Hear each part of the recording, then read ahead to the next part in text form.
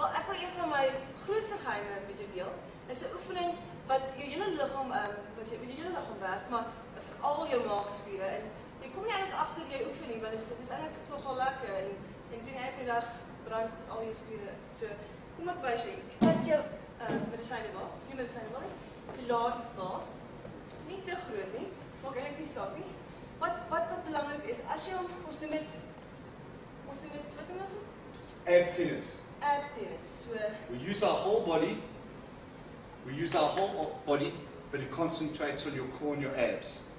So it's important that we stretch out, and Tanya's going to show you ab tennis. Dit lyk dalk snaaks, maar glo my, as jy jou maagspiere styf hou en jy gooi die bal, as jy dit op die huis doen, voel jy soms jy dit doen. Ek oefen my maagspiere. So as jy dalk wil oefen, kan jy een van jou kinders wat wel groot bal nie 3 jaar nie, wat die bal kan vang en gooi,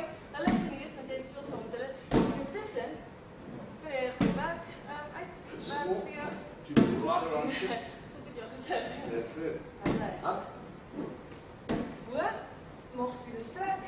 Gooi, hou. low, Onder, front twist, the front, other side, So. and side.